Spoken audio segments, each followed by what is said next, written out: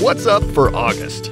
Grab your binoculars for planet viewing, the outlook for the Perseids, and flying with Cygnus, the swan. The morning planet parade we've been enjoying the past few months comes to an end in August, with Venus and Saturn making their exits on opposite sides of the sky. But that still leaves Mars and Jupiter high overhead to enjoy. In fact, August begins with a close conjunction of the red planet and distant ice giant planet Uranus. Uranus can be difficult to find without a self guided telescope, but it's an easy object for binoculars if you know where to look.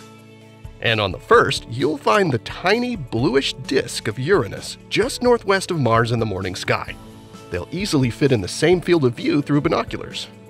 Moving on to the morning of the 15th, you'll find the Moon only a finger's width from Jupiter.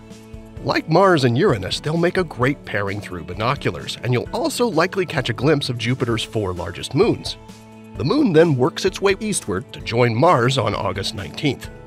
This is another nice pairing for binoculars, plus you'll find the pairs super close to the Pleiades. You may even be able to fit them all into the same view.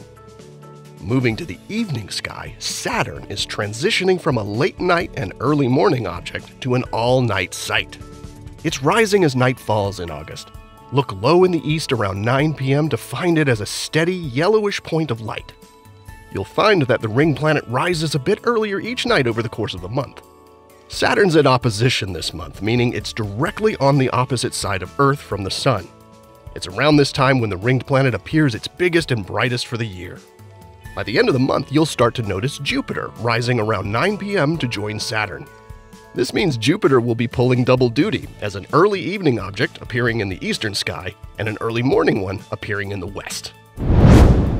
Perseid meteors are an annual event many of us skywatchers look forward to, as they often produce lots of shooting stars for us to enjoy. Unfortunately, this year, all but the brightest Perseids will be washed out by a full moon on the peak night of August 12th. So, this is probably not the year to make a special trip in order to see the Perseids, but if you find yourself outside between midnight and dawn on August 13th, don't forget to look up anyway because you never know, you might just catch one of the bright Perseid meteors that defies the glare of the moon. And don't forget, the occasional early Perseid can streak across the sky as much as a week beforehand. You'll find the constellation Cygnus, the swan, flying high in the eastern sky after dark in August.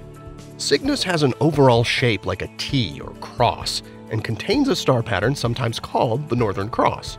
Cygnus is anchored by its brightest star, Deneb, which represents the swan's tail. Deneb is the northernmost of the three stars in the summer triangle, and it's visible even in bright city skies.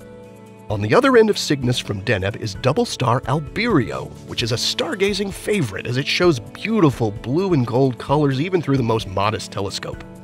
Now, Cygnus lies right along the plane of the Milky Way, so it's dense with glittering stars and dark dust clouds with lots of interest for telescope observers and astrophotographers to enjoy, including the North America Nebula, the Veil Nebula, and the Blinking Planetary Nebula. It also includes the open star clusters M29 and M39, which are visible with binoculars.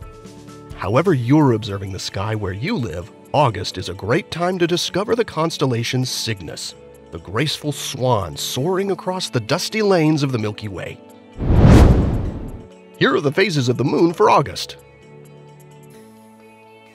Stay up to date with all of NASA's missions to explore the solar system and beyond at nasa.gov. I'm Preston Dyches from NASA's Jet Propulsion Laboratory, and that's what's up for this month.